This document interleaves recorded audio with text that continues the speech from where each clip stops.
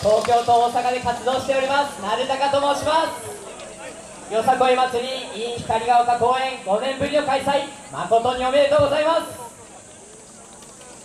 鳴高の今年のテーマは風神と雷神を用いてフライと名付けております。あなたの心に衝撃届けます。踊り子気合入ってるか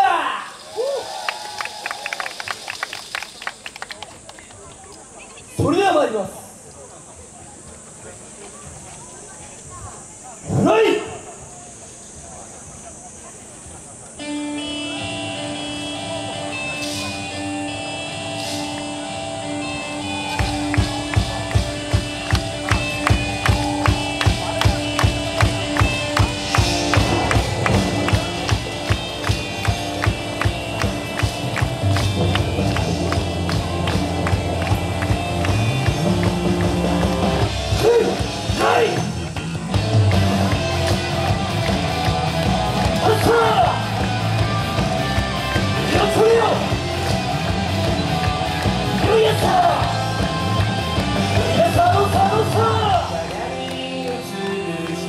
君の今まだ消えてないだ。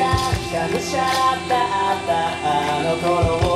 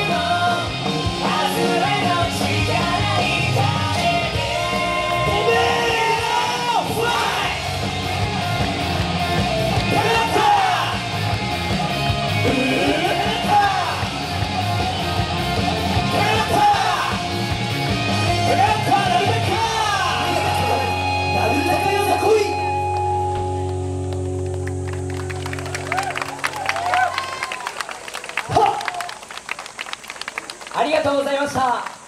ありがとうございました。